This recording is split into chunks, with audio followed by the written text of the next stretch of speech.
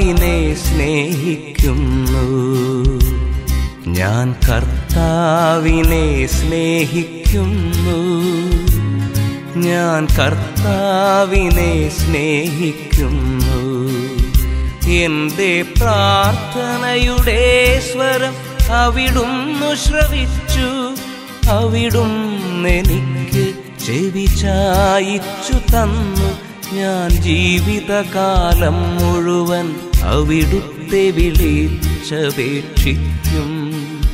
എന്റെ പ്രാർത്ഥനയുടെ സ്വരം അവിടുന്നു ശ്രവിച്ചു. അവിടുന്നെനിക്ക് ചെവി ചായിച്ചു തന്നു. ഞാൻ ജീവിതകാലം മുഴുവൻ അവിടുത്തെ വിളിച്ചപേക്ഷിക്കും. ഞാൻ കർത്താവിനെ സ്നേഹിക്കുന്നു. ഞാൻ കർത്താവിനെ സ്നേഹിക്കുന്നു. ഞാൻ കർത്താവിനെ സ്നേഹിക്കുന്നു. ദൈവം അബ്രാഹത്തെ പരീക്ഷിച്ചു. അബ്രാഹം അവിടുന്ന് വിളിച്ചു. ഇതാ ഞാൻ. അവൻ വിളി കേട്ടു. നീ സ്നേഹിക്കുന്ന നിന്റെ ഏകമകൻ ഇസഹാക്കിനെയും കൂട്ടിക്കൊണ്ട് മോറിയ ദേശത്തേക്ക് പോവുക. അവിടെ ഞാൻ കാണിച്ചു തരുന്ന മലമുകളിൽ നീ അവനെ എനിക്ക് ഒരു ദഹനബലിയായി അർപ്പിക്കണം. അബ്രാഹം അതിരാവിലെ എഴുന്നേറ്റ് കഴുതയ്ക്ക് ജീനിയിട്ട് രണ്ട് വേലക്കാരെയും മകൻ ഇസഹാക്കിനെയും കൂട്ടി ബലിക്കു വേണ്ട വിറകും കീറിയെടുത്ത് ദൈവം പറഞ്ഞ സ്ഥലത്തേക്ക് പുറപ്പെട്ടു. മൂന്നാം ദിവസം അവൻ തല ഉയർത്തി നോക്കിയപ്പോൾ അകലെ ആ സ്ഥലം കണ്ടു. അവൻ വേലക്കാരോട് പറഞ്ഞു കഴുതയുമായി നിങ്ങൾ ഇവിടെ നിൽക്കുക. ഞാനും മകനും അവിടെ പോയി ആരാധിച്ച് തിരിച്ചു വരാം. അബ്രാഹം ദഹനബലിക്കുള്ള വിറകെടുത്ത് മകൻ ഇസഹാക്കിന്റെ ചുമലിൽ വെച്ചു. കത്തിയും തീയും അവൻ തന്നെ എടുത്തു. അവർ ഒരുമിച്ച് മുമ്പോട്ട് നടന്നു. ഇസഹാക്ക് തന്റെ പിതാവായ അബ്രാഹത്തെ വിളിച്ചു. പിതാവേ. എന്താ മകനെ? അവൻ വിളി കേട്ടു. ഇസഹാക്ക് പറഞ്ഞു തീയും വിറകുമുണ്ടല്ലോ. എന്നാൽ ദഹനബലിക്കുള്ള കുഞ്ഞാടെവിടെ? അവൻ മറുപടി പറഞ്ഞു ബലിക്കുള്ള കുഞ്ഞാടിനെ ദൈവം തന്നെ തരും. അവരൊന്നിച്ച് മുമ്പോട്ട് പോയി. ദൈവം പറഞ്ഞ സ്ഥലത്തെത്തിയപ്പോൾ അബ്രാഹം അവിടെ ഒരു ബലിപീഠം പണിതു. വിറക് അടുക്കി വെച്ചിട്ട് ഇസഹാക്കിനെ ബന്ധിച്ച് വിറകിന് മീതെ കിടത്തി. മകനെ ബലി കഴിക്കാൻ അബ്രാഹം കത്തി കയ്യിലെടുത്തു. തൽക്ഷണം കർത്താവിന്റെ ദൂതൻ ആകാശത്ത് നിന്ന് അബ്രാഹം അബ്രാഹം. എന്ന് വിളിച്ചു. ഇതാ ഞാൻ. അവൻ വിളി കേട്ടു. കുട്ടിയുടെ മേൽ കൈവയ്ക്കരുത്. അവനെ ഒന്നും ചെയ്യരുത്. നീ ദൈവത്തെ ഭയപ്പെടുന്നുവെന്ന് എനിക്കിപ്പോൾ ഉറപ്പായി. കാരണം നിന്റെ ഏകപുത്രനെ എനിക്ക് തരാൻ നീ മടി കാണിച്ചില്ല. അബ്രാഹം തലപൊക്കി നോക്കിയപ്പോൾ തന്റെ പിന്നിൽ മുൾച്ചെടികളിൽ കൊമ്പുടക്കി കിടക്കുന്ന ഒരു മുട്ടാടിനെ കണ്ടു. അവൻ അതിനെ മകനു പകരം ദഹനബലി അർപ്പിച്ചു. അബ്രാഹം ആ സ്ഥലത്തിന് യാഹ്വയിരെ എന്നു പേരിട്ടു. കർത്താവിന്റെ മലയിൽ അവിടുന്ന് വേണ്ടത് പ്രദാനം ചെയ്യുന്നുവെന്ന് ഇന്നുവരെയും പറയപ്പെടുന്നു. കർത്താവിന്റെ ദൂതൻ ആകാശത്തു നിന്ന് വീണ്ടും അബ്രാഹത്തെ വിളിച്ചു പറഞ്ഞു. കർത്താവ് അരുളി ചെയ്യുന്നു നീ നിന്റെ ഏകപുത്രനെ പോലും എനിക്ക് തരാൻ മടിക്കായക കൊണ്ട് ഞാൻ ശപഥം ചെയ്യുന്നു. ഞാൻ നിന്നെ സമൃദ്ധമായി അനുഗ്രഹിക്കും.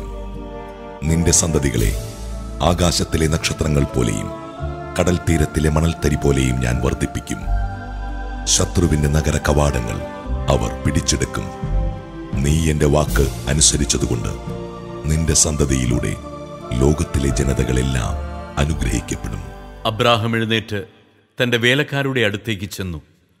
അവരൊന്നിച്ച് ബേർഷബയിലേക്ക് തിരിച്ചുപോയി. അബ്രാഹം ബേർഷബയിൽ പാർത്തു.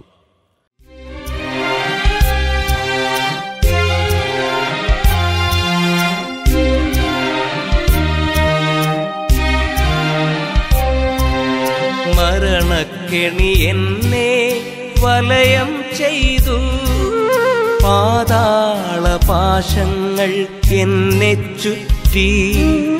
മരണക്കെണി എന്നെ വലയം ചെയ്തു. പാതാള പാശങ്ങൾ എന്നെ ചുറ്റി. ദുരിതവും തീവ്രവേദനയും എന്നെ ഗ്രസിക്കുന്നു കർത്താവിന്റെ നാമം വിളിച്ചപേക്ഷിച്ചു. ദുരിതവും തീവ്രവേദനയും എന്നെ ഗ്രസിക്കുന്നു. ഞാൻ കർത്താവിന്റെ നാമം വിളിച്ചപേക്ഷിച്ചു. ഞാൻ കർത്താവിനെ സ്നേഹിക്കുന്നു. ഞാൻ കർത്താവിനെ സ്നേഹിക്കുന്നു. ഞാൻ കർത്താവിനെ സ്നേഹിക്കുന്നു. യേശു തോണിയിൽ കയറി കടൽ കടന്ന് സ്വന്തം പട്ടണത്തിലെത്തി. അവർ ഒരു തളർവാദ രോഗിയെ ശയ്യയോടെ അവന്റെ അടുക്കൽ കൊണ്ടുവന്നു.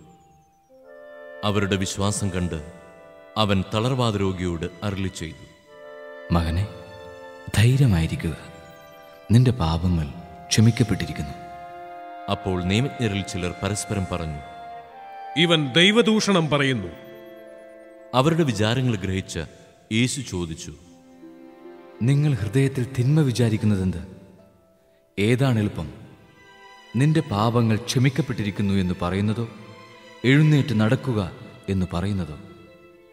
ഭൂമിയിൽ പാപങ്ങൾ ക്ഷമിക്കാൻ മനുഷ്യപുത്രന് അധികാരമുണ്ടെന്ന് നിങ്ങൾ അറിയേണ്ടതിനാണിത്.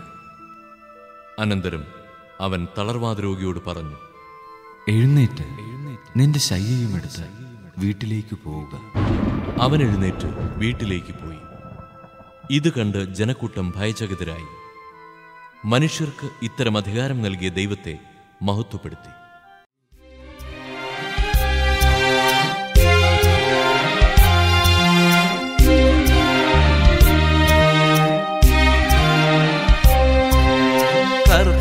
കർത്താവെ ഞാൻ യാചിക്കുന്നു.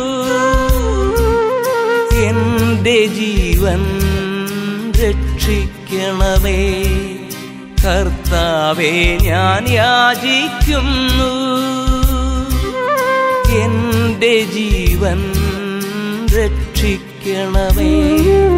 കർത്താവ് കരുണാമയനും നീതിമാനുമാണ്.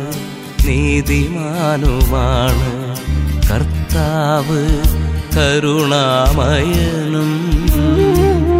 നീതിമാനുമാണ് നീതിമാനുമാണ്. ഞാൻ കർത്താവിനെ സ്നേഹിക്കുന്നു. ഞാൻ കർത്താവിനെ സ്നേഹിക്കുന്നു. ഞാൻ കർത്താവിനെ സ്നേഹിക്കുന്നു.